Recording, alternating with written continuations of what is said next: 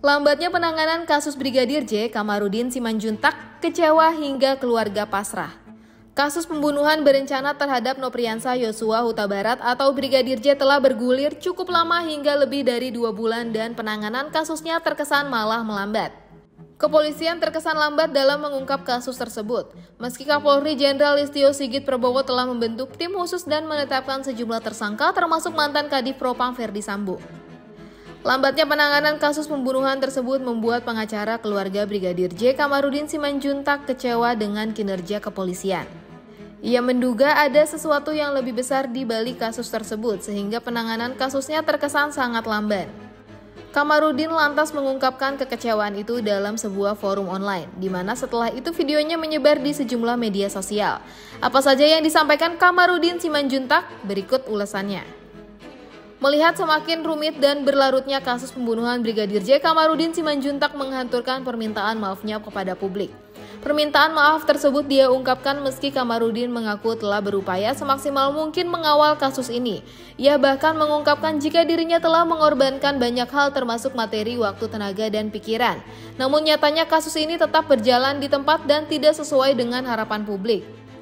Tetapi sekarang ini sangat mengecewakan. Saya betul-betul minta maaf. Saya sudah berjuang dengan mengorbankan segalanya baik pikiran, materi maupun waktu.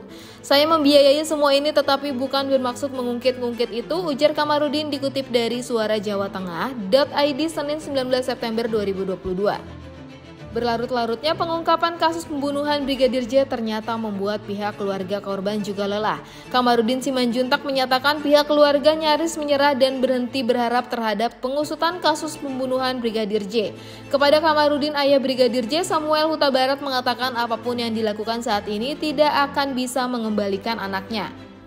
Kemarin saat saya ke Jambi beliau berpesan sudah cukup pak, kami sudah capek pak, kami mendengar aja capek. Demikian juga masyarakat bilang kami hanya mengikuti saja capek apalagi bapak yang melakukan katanya sambung dia.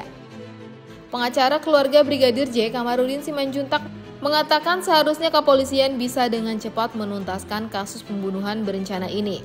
Kamarudin mengatakan jika dirinya diberikan kewenangan untuk menyidik kasus ini, ia menyatakan bisa dengan cepat menyelesaikannya, bahkan dalam hitungan jam.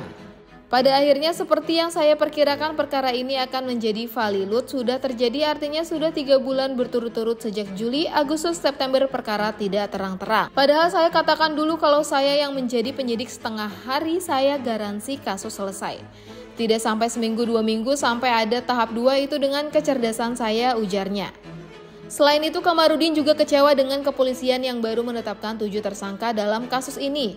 Menurut dia, dengan rentang waktu selama ini, Polri seharusnya bisa menetapkan lebih dari 30 orang tersangka. Harusnya sudah banyak tersangka minimal 35 sampai 30 tersangka sampai hari ini baru 5 tambah dengan 7. Yang 7 itu pun sudah salah satu dari 5 itu tersangka obstruction of justice paparnya. Menurut Kamarudin Simanjuntak lambannya pengungkapan kasus pembunuhan berencana terhadap Brigadir J tak terlepas dari sikap Presiden Joko Widodo. Menurut dia, sikap Presiden dalam kasus ini tidak tegas dan hanya memberikan instruksi pada Kapolri untuk mengungkap kasus ini. Kamarudin menilai sikap Presiden tersebut tidak cukup mendorong kasus pembunuhan berencana ini segera terungkap. Bahkan ia menilai dengan bersikap demikian sama saja Presiden membiarkan kasus yang melibatkan Irjen Verdi Sambo ini berlarut-larut. Presiden membiarkan Polri terjebak dalam lumpur itu akhirnya sampai dengan hari ini mereka terjebak tidak bisa keluar ujarnya. Karena itulah Kamarudin berpesan agar publik dapat belajar dari kasus ini dan tidak kembali mengulang kesalahan yang sama yakni memilih pemimpin yang salah pada pemilihan umum 2024.